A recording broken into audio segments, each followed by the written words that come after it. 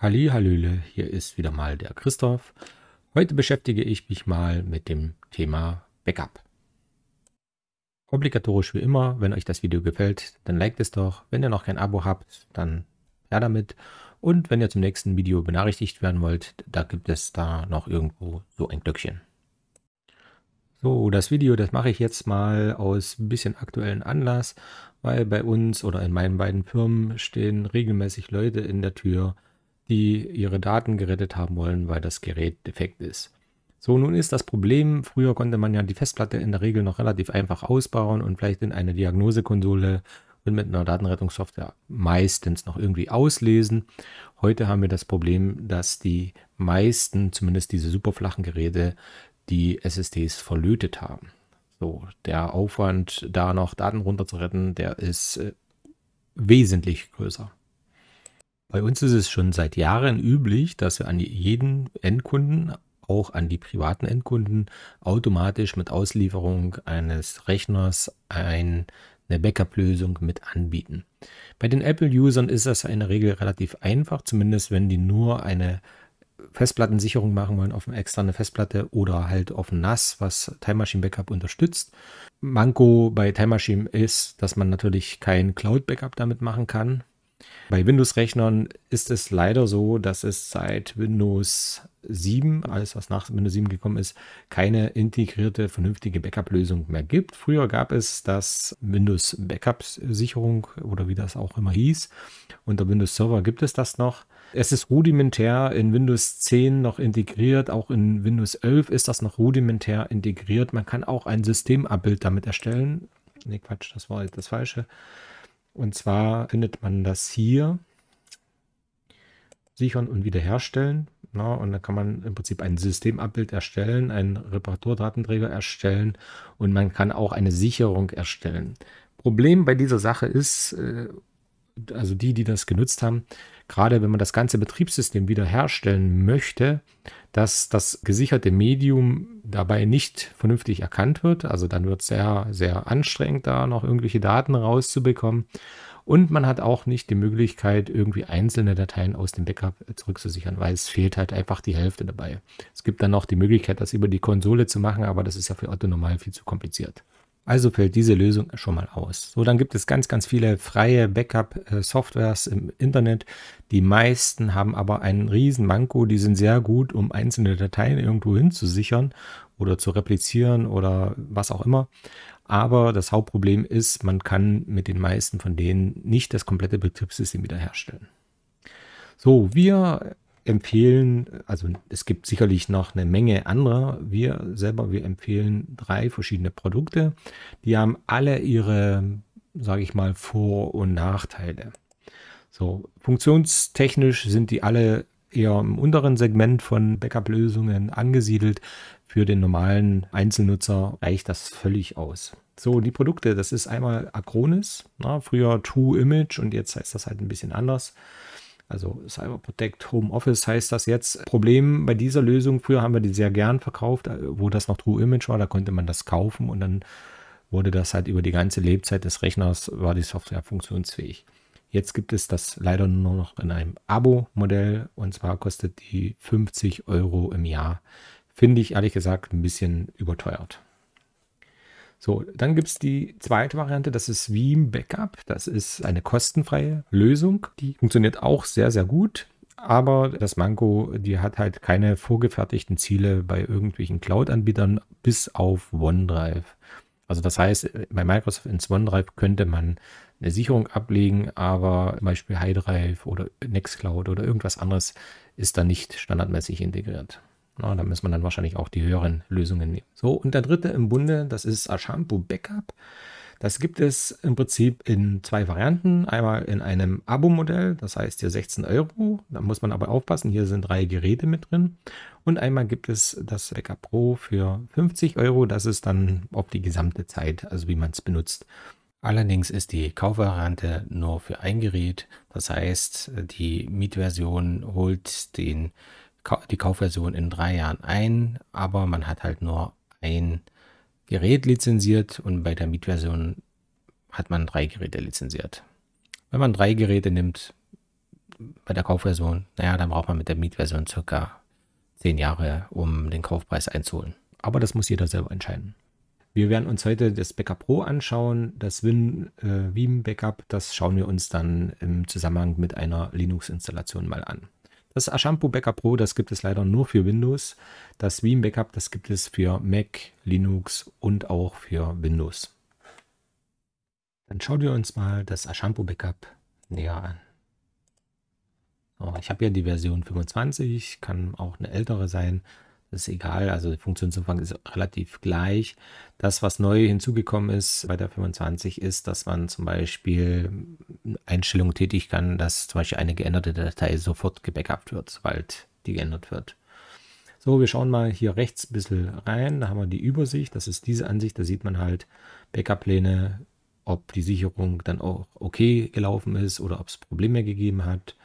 Die zweite ist die Backup-Pläne, die man annimmt. Das heißt, man kann mehrere anlegen. Das heißt, hier ist jetzt angelegt eine Sicherung von diesem Rechner auf eine externe Festplatte. Man kann auch mehrere externe Festplatten da integrieren oder halt auch ein Cloud-Backup in verschiedene Ziele.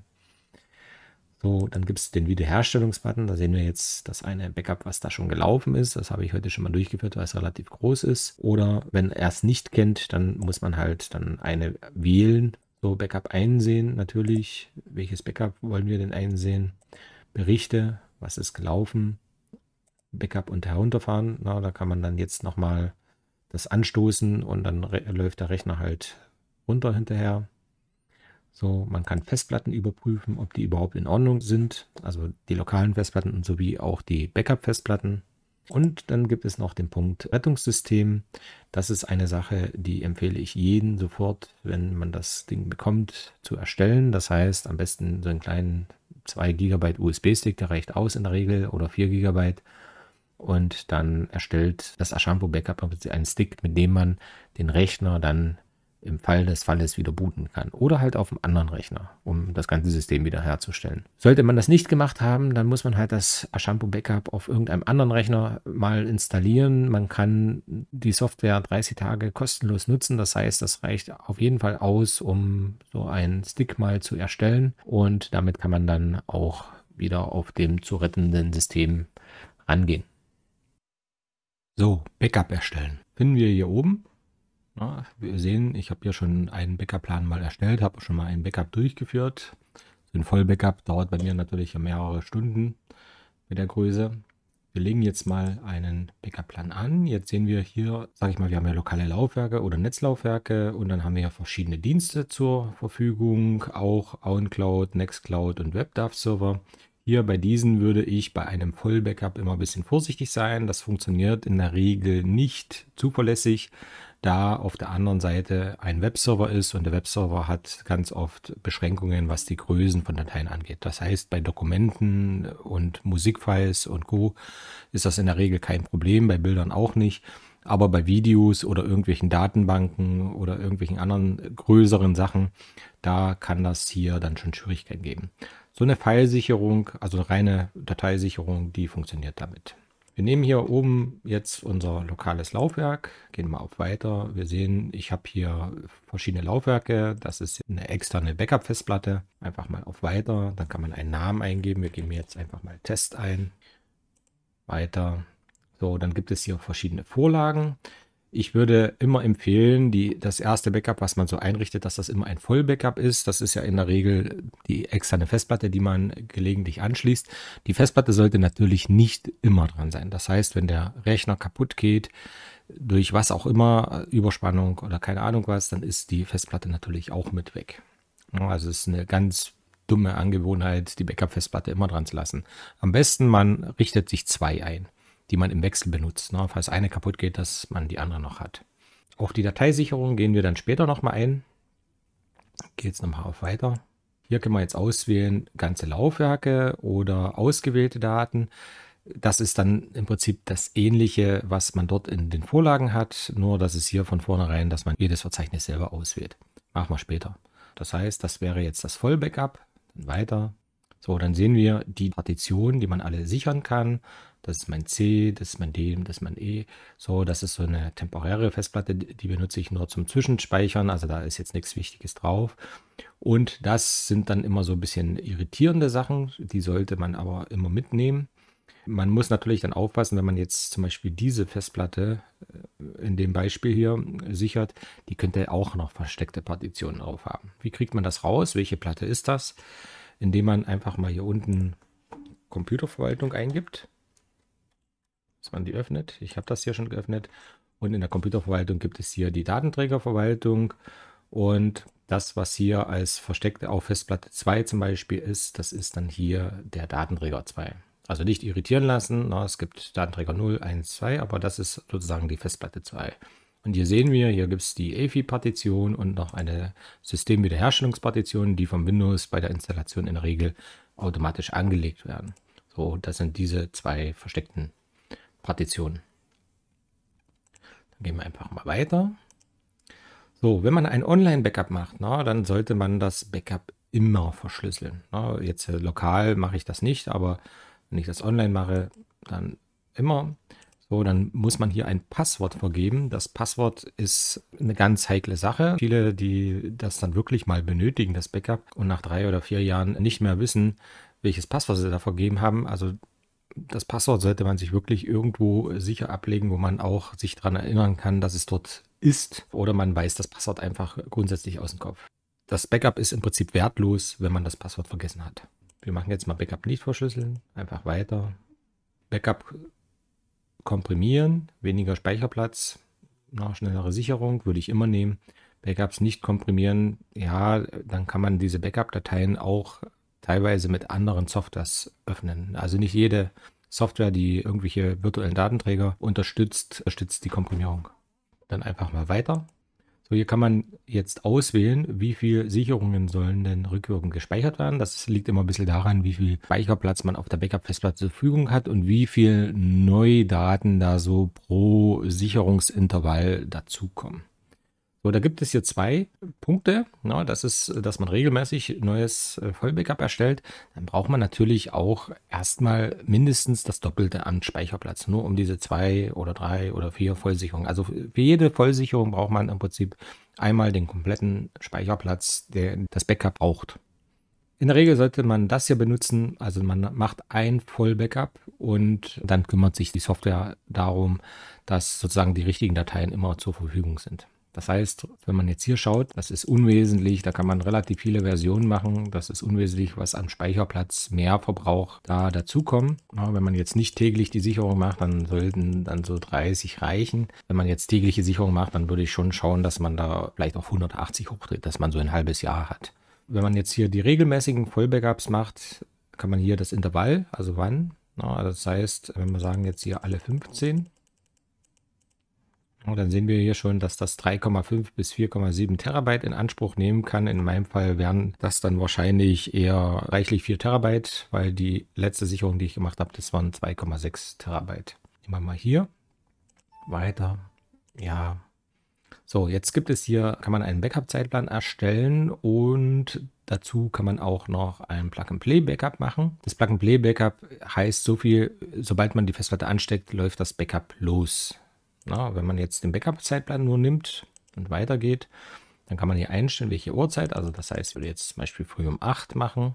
So, weiter. So, dann gibt es den Punkt, falls früh um 8 die Backup-Festplatte noch nicht dran war, dann wird das Backup durchgeführt, sobald die Platte angesteckt wird. Also bei dieser, bei der nächsten Gelegenheit Backup machen.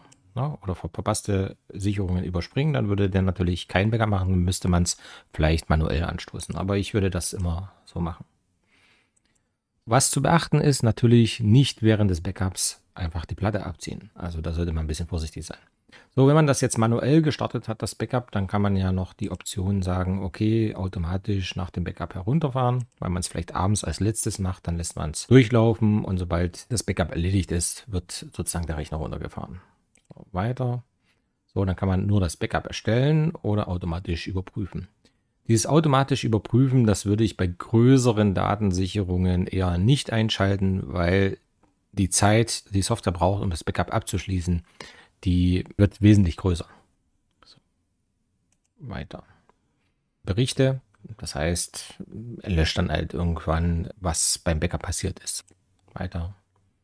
So, jetzt könnte man noch sich einen Bericht zurückschicken lassen. Braucht man eigentlich nicht, weil man kann ja diese Benachrichtigung aktivieren, dass das Backup erfolgreich ist. Wenn das jetzt ein nicht überwachter Rechner ist, also wo man nicht immer davor sitzt, dann kann man sich das hier einschalten.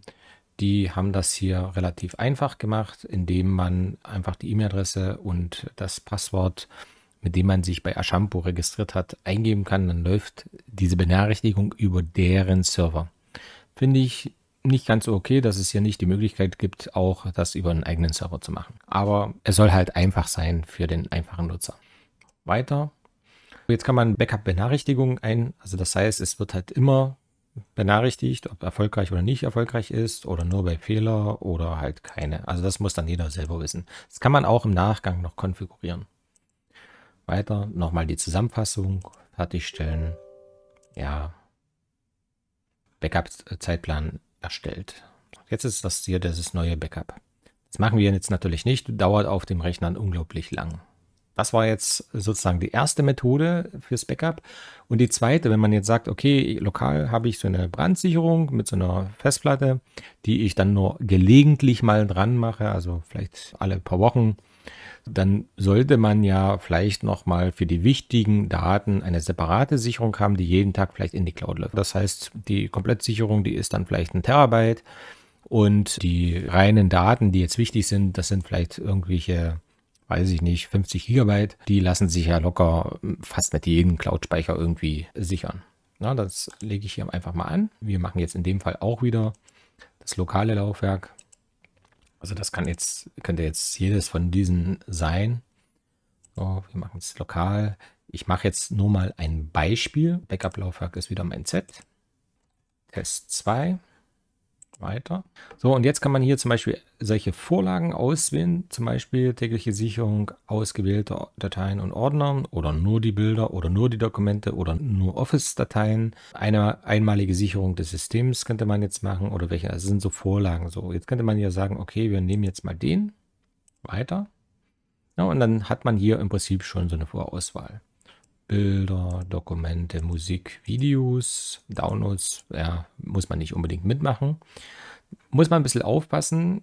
Also bei mir würde das jetzt äh, kein sinnvolles äh, Szenario sein, weil diese Ordner, die sind bei mir eigentlich nur ja, temporäre Zwischenspeicher für irgendwelchen Krempel.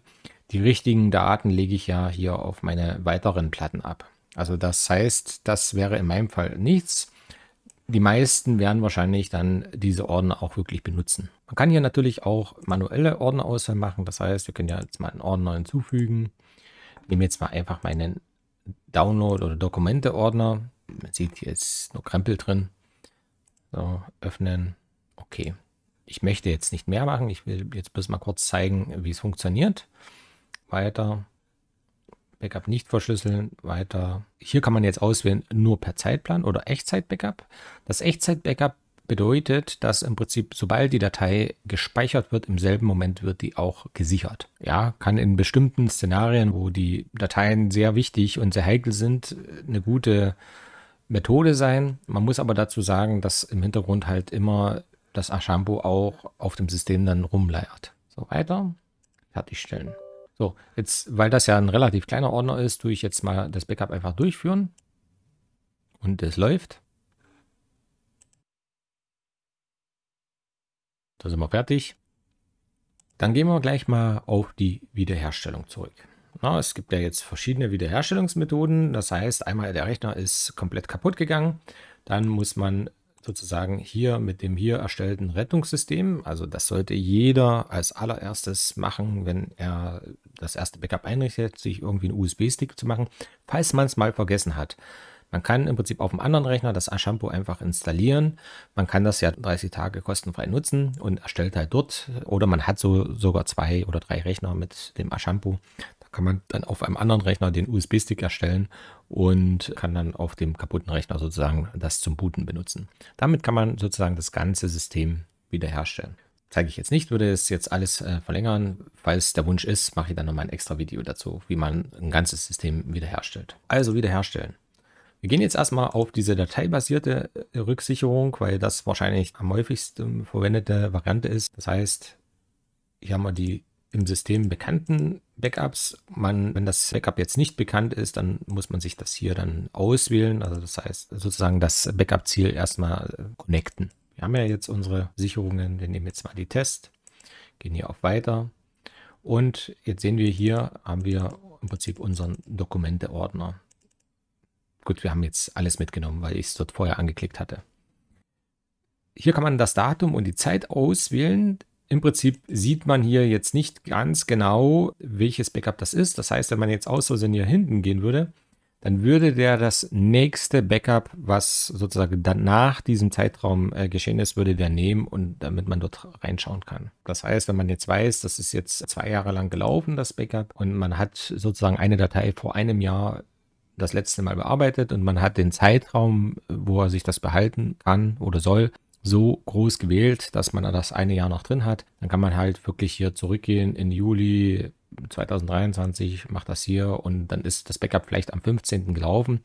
Dann würde man hier unten auch dann vom 15. die Dokumente sehen. Also die zu dem Zeitpunkt vorhanden waren. Also die Wiederherstellung geht ganz einfach. Das heißt, man kann ja jetzt einen ganzen Ordner nehmen oder wir sagen, wir wollen jetzt nur einen Ordner haben, also oder eine Datei haben. Das heißt, ich könnte jetzt hier mal reingehen, Setup Photoshop, Projekts, ja, und ich sage, ich will jetzt die neue Homepage komplett haben.